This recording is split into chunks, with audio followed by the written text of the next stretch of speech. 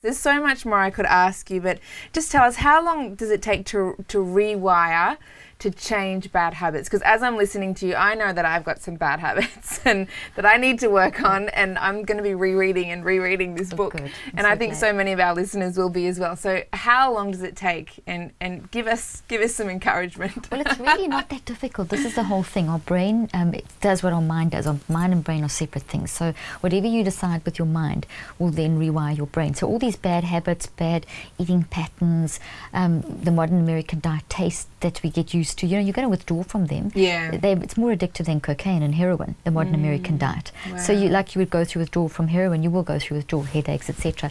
But it's not a, it's not a difficult thing to do once you set your mind, because your mind's more powerful than your brain. Your brain controls your body. So your mind will change your body. It will rewire. What you've wired in, you can wire out. So that's the first thing, bit of hope, that there is hope. And it's also a cycle of three cycles of 21 days. Mm. So I talk about 63 days to think and eat yourself smart. And in, in my book, I have three sections. One where it tells you about the problems, one where it shows you the impact on your brain and body, and the third part, how do you make the change? And then mm. I have an mm. online that goes with that, where it teaches you it's over 63 days. So it's a matter of understanding how do I rethink, how do I handle food ads, how do I rebuild my pantry, you know, what do I do? So it's really within honestly, it's three, six, nine weeks. One can have a complete wow. and utter change in your body, your pantry, and you you the difference, and in children's behaviour. Most kids these days that are being referred for learning issues, when you you manage the diet, those drop away, concentration, attention, because immediately that food goes across the blood-brain barrier into your brain, and it starts shrinking parts of your brain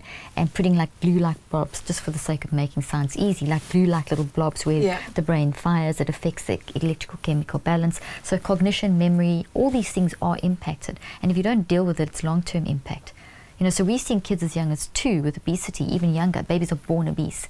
So the way we eat as parents impacts our kids too. Mm. So we mm. literally almost have to rewire what we, even your great grandfather has affected. So fathers mm. affect girls. Yeah. Main, you know, so it's no one's, the, the patterns pass through the bloodlines. So mm. we, we need to think of our generational impact also if we support those industries, what are we leaving for our kids in future in terms of, you know, produce and land and that kind of thing? Because we're getting des deserts forming globally. You know, it's really become a very significant issue now in this generation. Yeah. And our kids are really going to be impacted. By the time our grandchildren are here, we don't make some significant changes. Mm. There's going to be a massive food issue and diseases are increasing. And I don't think God wants that for us. I mean, that's not that's not what he came to give us life abundantly. Yeah. So we have absolutely. to take responsibility for biological needs, which is a need. We have to feed, we have to eat.